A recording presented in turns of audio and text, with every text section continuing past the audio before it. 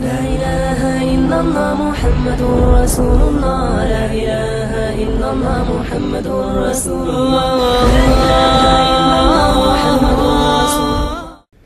ابن ابی دنیا مقاعد الشیطان میں حضرت قیس بن ابی حازم علیہ الرحمہ سے روایت کرتے ہیں۔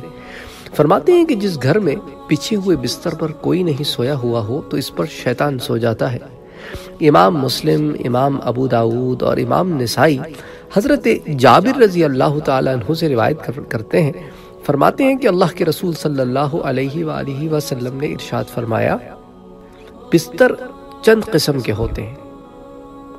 ان میں سے ایک بستر تو آدمی کا ہوتا ہے، ایک اس کی بیوی کا ہوتا ہے، تیسرا مہمان کے لیے ہوتا ہے اور چوتھا شیطان کا ہوتا ہے۔ امیر المومنین حضرت عمر بن خطاب رضی اللہ تعالیٰ عنہ فرماتے ہیں، تم دوپہر میں قیلولہ کرو اس لیے کہ شیطان دوپہر کو قیلولہ نہیں کرتا۔ قیلولہ جو ہے دوپہر میں کچھ دیر سونے کو کہتے ہیں۔ امام سیوتی رحمۃ اللہ علیہ فرماتے ہیں کہ اس حدیث کو کہ امیر المومنین حضرت عمر بن خطاب رضی اللہ تعالیٰ عنہ والی جو حدیث ہے، اس کو امام سیوتی نے کہا ہے کہ اس حدیث کو امام تبرانی نے اوسط میں اور امام ابو نعیم نے الطب میں حضرت انس رضی اللہ تعالیٰ عنہ سے انہی الفاظ میں مرفوعاً یعنی جس حدیث کی سند حضور تک پہنچے روایت کی۔ تو یہ تو حضرت عمر رضی اللہ تعالیٰ عنہ کا قول تھا۔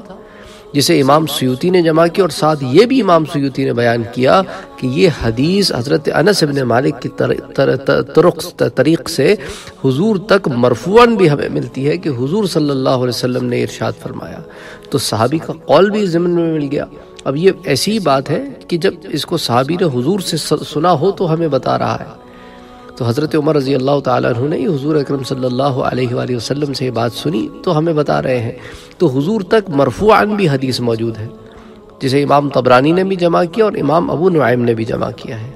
تو بہرحال سونے سے متعلق جو خالی بستر پر شیطان سوتا ہے اور شیطان دوپہر کو نہیں سوتا، تو ان دو معاملات میں جو حدیثیں آتی ہیں وہ ہم نے یہاں جمع کر دی ہیں۔ وہ عَلَيْنَا إِلَّا الْبَلَاغُ۔